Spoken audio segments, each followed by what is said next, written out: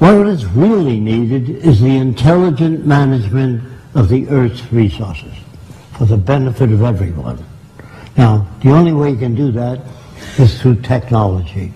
Everything that you have, your lights, your air conditioning, your automobile, your airplanes, all technology. Politicians can't give you that. Politicians don't know what to do. They make laws.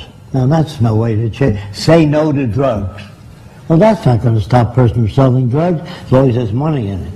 But if you do away with the money system and build access centers where anyone can have access to the necessities of life without filling out a million forms or appealing to Fresco, it's all available to everyone. Everything on earth is made by people that worked hard to achieve that. So a young man at Princeton got up and he said, I don't like your system at all. I said, I can't do anything with what you're saying. What is it that you don't like? He said, well, you want to give people things for nothing. I said, were you born in America? He said, yes. You got the airplane, the telephone, the radio, airplanes, ships, all for nothing. You didn't have anything to do with that, I'm sure. Right? So I said, does it hurt you?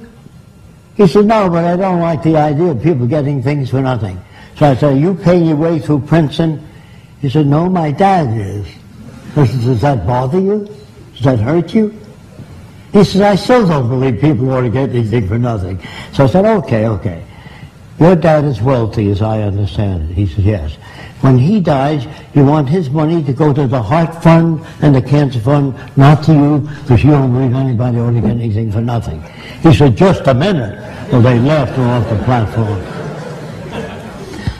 When I say people hardly know what they're talking about, because they're not brought up to be sane. They're brought up to fit in with the establishment.